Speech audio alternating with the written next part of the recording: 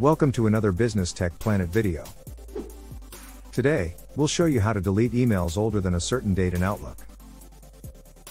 There are two main methods to delete emails of a certain age. Firstly, you can use Auto Archive in the desktop app and assign policy in Outlook Web Access. Or, secondly, you can use a retention policy in Compliance and Exchange. Method 1 Use Auto Archive to delete emails older than a certain date. For the web version of Outlook, right click your inbox and go to Assign Policy. Then simply select a deletion date.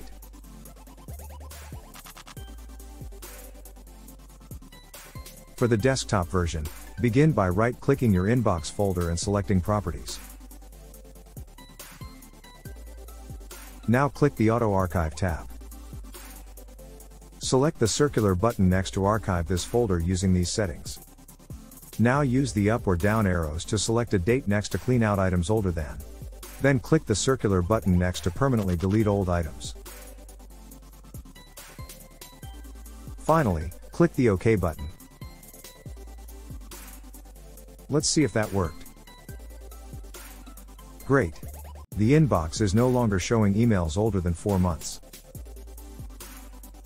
Method 2 Use a retention policy on all mailboxes to delete emails older than a certain date. Please note that the retention policy will only apply to mailboxes with at least 10 megabytes of data. The policy can take up to one week to apply to mailboxes. All mail older than your chosen retention date will be deleted upon the policy's activation. Start by opening your Admin Center. Then click on the menu icon in the top left corner. Now click Show All on the left menu to reveal more options. Select Compliance from the list of admin centers. Next, click on Policies in the left menu of your Compliance Center. Then, under the data header, select Retention. Click the plus icon to add a new retention policy. You can now name and describe your retention policy.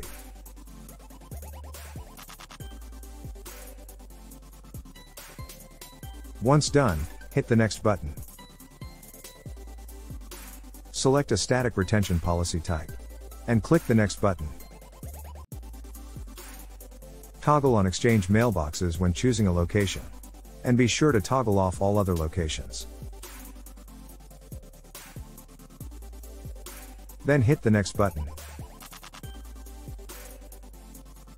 Click the select box under retain items for a specific period, and choose custom. Then set your preferred years months and days. Now click the circular button next to delete items automatically. Then click the next button. Finally, review your policy and hit submit. With this retention policy in place, all emails older than 6 months will be automatically deleted for all mailboxes. If you want to create a retention policy for just one mailbox, keep watching for the next method.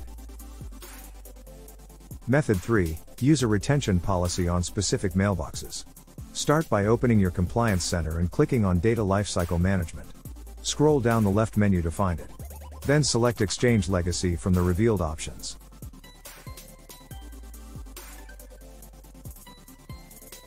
Click on New Policy. And enter a name for your new policy.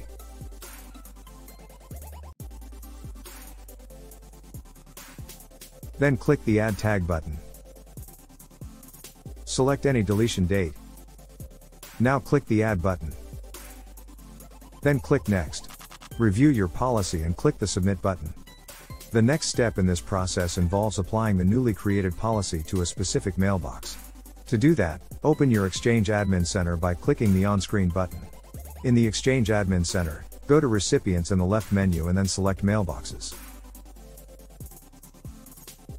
Now click the display name of the mailbox you want to set a retention policy for. Click on the Mailbox tab in the navigation pane on the right side of the window. Then scroll down and click Manage Mailbox Policies.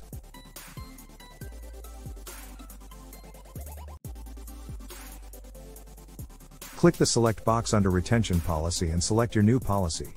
Finally, Click the Save button. Perfect. Now the retention policy will only be effective for the mailboxes you select. That's all for this video.